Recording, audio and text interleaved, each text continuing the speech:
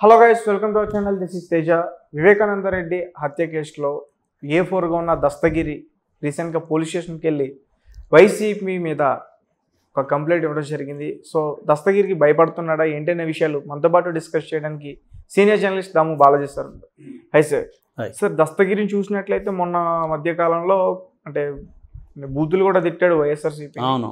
So ఒక పక్క నాకేం భయం లేదు నేను బాగానే ఉన్నాను నాకు మంచి సెక్యూరిటీ ఉందని చెప్తున్నాను కానీ పో ఈ మధ్య కాలంలో పోలీస్ స్టేషన్కి వెళ్ళడం అంటే దేనికి ఏమన్నా బెదిరింపులు వస్తున్నాయంటారా? దస్తగిరి కూడా ఏమన్నా నాకు తెలిసి ఏంటంటే నేను ఈ కేసులో చాలా డీప్గా ఇన్వాల్వ్ అయ్యాను. మన ఛానల్లో వచ్చిన వీడియోలు ఇంకెక్కడ రాలేదు అవును. సార్. సో దాన్ని దస్తగిరిని పరిశీలిస్తే మనకు అర్థమయ్యేది ఏమంటే దస్తగిరికి కొంత డబ్బులు వచ్చాయి ఈ కేసులో. ఎందుకంటే వివేకానందని చంపడం కోసం అతను ఐదు కోట్ల సుపారీకి మాట్లాడుకున్నాడు. ఐదు కోట్లు ఇతనికి ఇస్తామన్నారు. కోటి రూపాయలు అడ్వాన్స్ ఇచ్చారు. కోటి రూపాయలు అడ్వాన్స్ అంటే అతను అతను ఎవడు? అంతకుముందు ఆటో డ్రైవరు తర్వాత కార్ డ్రైవరు తర్వాత ఐస్ క్రీమ్ బండి నడుపుకునేవాడు. అంటే ఏ రోజుకి ఆ రోజు వస్తే బతకాల్సిన పరిస్థితిలో ఉండేవాడు. సడన్గా అతనికి కోటి రూపాయలు అడ్వాన్స్ వచ్చింది. ఐదు ఇంకొక నాలుగు కోట్లు వస్తాయి. అట్ ఎటువంటి పరిస్థితులకి వెళ్ళిపోతాడు అతను మనిషి? సో ఇవాళ రేపు ఏంటంటే బీరు బాటిల్ ఒక బిర్యానీ పొట్లం ఇస్తే చంపేసే వాళ్ళు ఉన్నారు. అలాంటిది అతనికి ఐదు కోట్లు వస్తుందంటే అంతమందిని చంపే టైప్లో ఉన్నాడు అతను. అంతే కదా. డబ్బుల కోసం క్లియర్గా తన యజమాని ఒకప్పుడు ఆయన పెద్ద మనిషి అక్కడ ఒక ఎక్స్ మినిస్టరు ఆయన్ని చంపడానికి ఒప్పుకున్నాడంటే అతని క్యారెక్టర్ ఏంటి? డబ్బుల కోసం ఏదైనా చేస్తాడు. సో అది అతని క్యారెక్టర్. దీంట్లో కోటి రూపాయలు వస్తే అందులో ఇరవై ఐదు లక్షలు మళ్ళీ సునీల్ యాదవ్ వెనక్కి తీసుకున్నాడు. డెబ్బై ఐదు ఉంది. ఆ డెబ్బై ఐదులో నేను మా ఫ్రెండ్ మున్నాకి ఇచ్చానని చెప్పాడు. ఆ డెబ్బై ఐదులో నలభై ఆరు మాత్రమే వీళ్ళు వసూలు చేసుకున్నారు సిబిఐ సో మిగతా డబ్బులతో అతను ఒక కారు స్కార్పియోది కొన్నాడు. మిగతా కొంత ఫైనాన్సులకి ఇచ్చాడు. ఇది స్టార్ట్ చేశాడు ఒక వ్యాపారం స్టార్ట్ చేశాడు. రెండోది ఏంటంటే మామూలుగానే గ్రామాల్లో లేకపోతే స్మాల్ టౌన్స్లో ఎవరైనా హత్య చేసేయడానికి ఓపెన్గా తెలిస్తే ముఖ్యంగా ఇది సెలబ్రిటీ హత్య కదా. అందరూ కూడా భయము భక్తి పెరుగుతుంది ఆ వ్యక్తి మీద. సో ఆటోమేటిక్గా అతనికి పంచాయతీలకు పిలవడం దస్ ఒక సర్కిల్ ఏర్పడుతుంది అతని చుట్టూ. రెండవది ఇతనికేమో ఐదు మంది సెక్యూరిటీ ఉన్నారు పోలీసులు. ఎక్కడికి వెళ్ళినా ఐదు మందితో వెళ్తాడు కాబట్టి అవతల కొంత భయం ఉంటుంది. ఇతనితో మాట్లాడాలన్నా ఏదన్నా. సో ఈ పరిస్థితిని అతను బాగా అర్థం చేసుకున్నాడు. చేసుకొని దీన్ని ఉపయోగించుకొని పంచాయతీలు చేయడం మొదలుపెట్టాడు. సో కాళహస్తిలో దర్గా ల్యాండ్ చేశాడు. తర్వాత అన్నమయ్య జిల్లా రైల్వే కోడూరు అక్కడ మూడు షాపులు ఆక్యుపై చేయడానికి ట్రై చేశాడు. తర్వాత వాళ్ళ గ్రామం ఆ ఏరియాలో కూడా చేస్తున్నాడని చెప్తున్నారు పంచాయతీలు. ఈ మధ్యనే తెలిసింది వాళ్ళ బంధువు వాళ్ళకి డబ్బులు ఇచ్చి ఆ పిల్లవాడిని కిడ్నాప్ చేసి ఇంట్లో పెట్టుకున్నారు. ఆ డబ్బులు తిరిగి ఇవ్వలేదని. అంటే ఇతను ఇంకొకటి కూడా చెప్పాడు ఇతను. రైల్వే కోడూరులో నాకు ఒక అతను ఐదు లక్షలు బాకీ ఉన్నాడు. వాడు నాకు ఫేక్ ల్యాండ్ రాసి ఇచ్చాడు అందుకని నేను వాడిని గట్టిగా నిలదీస్తే వాడు ఈ మూడు షాపులు నావే అని చెప్పాడు. దానికోసం ఆ మూడు షాపులు నేనే కొంటానని నేను వెళ్ళానని చెప్పాడు. అంటే ఇతని దగ్గర డబ్బులు ఉంది లేదా ఎవరైనా ఇన్వెస్టర్లు ఇతనికి ఉన్నారు అనేది అర్థమవుతుంది మనకి క్లియర్గా. సో ఇటువంటి పొజిషన్ ఉండేటప్పుడు ఇతను చేసే ఇవన్నీ కూడా ఇల్లీగల్ యాక్టివిటీస్ సో ఈ ఇల్లీగల్ యాక్టివిటీస్కి వ్యతిరేకంగా పోలీసులు కేసులు పెట్టడం కావచ్చు అతను పిలవడం కావచ్చు జరుగుతుంది. దీని నుంచి అతను తప్పించుకోవాలంటే వైసీపీ మీద ఇది చేయాలి. నిజంగా ఇక్కడ ఎక్కడన్నా వైసీపీ రోల్ ఉందా? ఇతను బెదిరించినారా అంటే లేదంటాడు. నీకు ప్రాణభయం ఉందా అంటే నాకు ప్రాణభయం లేదు సార్ ఐదు మంది బ్రహ్మాండంగా ఉండాలని బాగా చూసుకుంటారని నిన్న కూడా ఏబిఎన్ ఛానల్కి ఇంటర్వ్యూలో చెప్తున్నాడు. వాళ్ళు అడిగారు ఏబిఎన్ విలేకరు అక్కడ అడిగారు మీకు ప్రాణభయం ఉందా అంటే నాకు ప్రాణభయం ఏం లేదు సార్ అన్నాడు. మొన్న అదే వాళ్ళ భార్య మా వాడిని చంపేస్తారు మా హస్బెండ్ని అని ఆమె మళ్ళీ మీడియాతో మాట్లాడింది.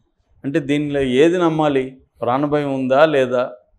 ఇతనేమో లేదంటాడు. వాళ్ళ భార్య ఏమో "నా- మా హస్బెండ్ని చంపేస్తారు. మేము ఎప్పుడు చచ్చిపోతాడని మేము భయపడుతూ ఉన్నాము. అదేదో ఇప్పుడే చంపేయండి మేము ప్రశాంతంగా చచ్చిపోతామని కూడా ఆమె నిష్ఠురంగా మాట్లాడింది. చాలా సుదీర్ఘమైన ఇంటర్వ్యూ ఇచ్చింది ఆమె కూడా. సో వీళ్ళు ఏంటంటే కాంట్రవర్సీ క్రియేట్ చేసి దీని చుట్టూ లైమ్ లైట్లో ఉంటూ పంచాయతీలు లేకపోతే దాన్ని ఏమంటారు వడ్డీ వ్యాపారం ఇవన్నీ చేసుకోవడానికి ఈ దారి తొక్కుతున్నట్టుగా కనబడుతుంది మనకి. అదర్వైజ్ అతనే చెప్తున్నాడు నాకు థ్రెట్ లేదని చెప్తున్నాడు.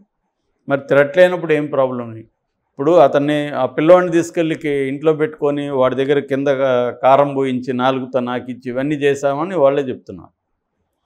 అదేమో కిడ్నాప్ కాదంటారు వాళ్ళు. మా బంధువుల అబ్బాయి మేము ఇంట్లో పెట్టుకున్నాం సార్ వదిలేసాం వాడిని అని వాళ్ళ భార్య చెప్తుంది.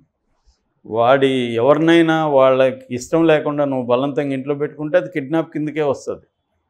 ఫోర్స్ఫుల్ రిటైనింగ్ అంటారు దాన్ని. ఫోర్స్ఫుల్గా వాళ్ళని పెట్టుకోవడం బంధించడం ఆ నేరం కిందకే వస్తుంది.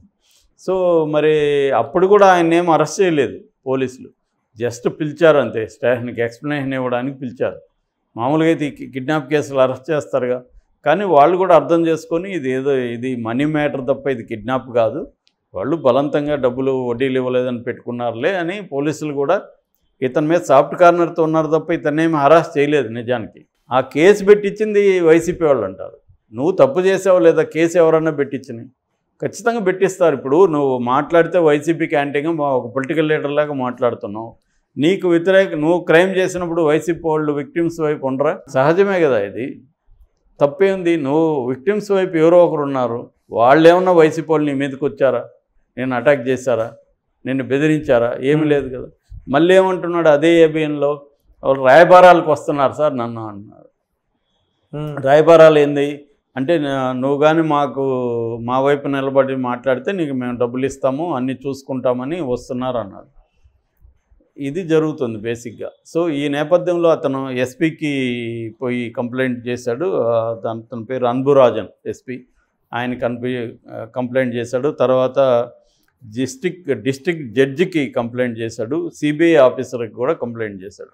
ఈ కంప్లైంట్లంతా ఎందుకు చేస్తున్నాడు?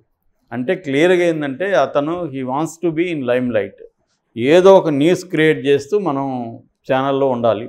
అతనికి కూడా అర్థమైపోయింది. ఛానళ్ళు మనం వెంటబడతాయి మిగతా వాళ్ళందరూ లోపల ఉన్నారు. ఇతను ఒక్కడే అక్యూజుడు ఒక్కడే బయట ఉన్నాడు. మిగతా మొత్తంగా ఇప్పటివరకు ఎనిమిది మంది అక్యూజుళ్ళు ఉంటే. ఒక అవినాష్ రెడ్డి బెయిల్ వచ్చిందా? ఆయన బయట ఉన్నారు తప్ప.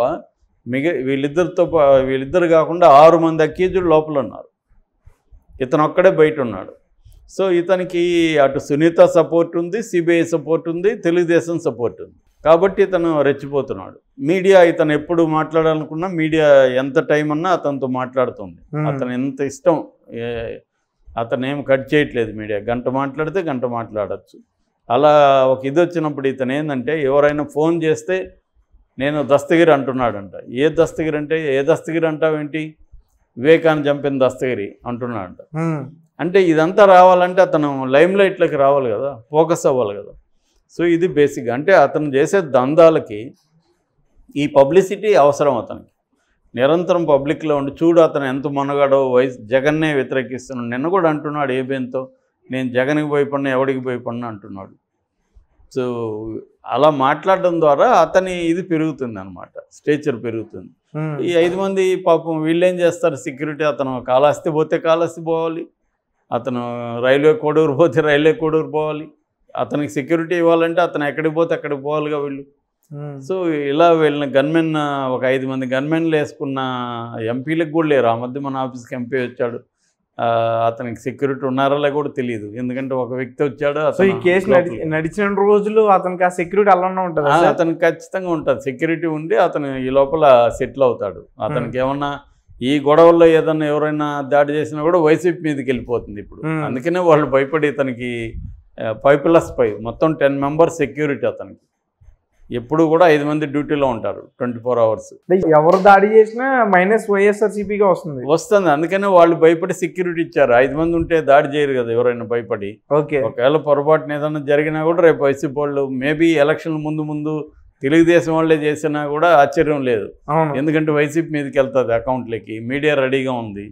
సో ఆ రకంగా ఏదేమైనా అతను డేంజర్ సిచ్యువేషన్లోనే ఉన్నాడని నా అభిప్రాయం. ఎందుకంటే అతను జాగ్రత్తగా ఉండాలి. వైసీపీ వాళ్ళు అయితే చేయరు నాకు తెలిసి. ఎందుకంటే వాళ్ళ మీదకి వస్తుంది కేసు. సో వేరే వాళ్ళు ఎవరైనా చేసినా కూడా వైసీపీ మీదకి వెళ్తుంది కాబట్టి ఇతని మీద చేసే అవకాశం కూడా ఉంది. సో అందుకని అతను మరి అతనికి కూడా తెలియదని చెప్పలేము. చాలా తెలివైనవాడే దస్తగిరి. అతని మాటల్లో చూసి తెలుస్తుంది. తెలివి తక్కువడే కాదు.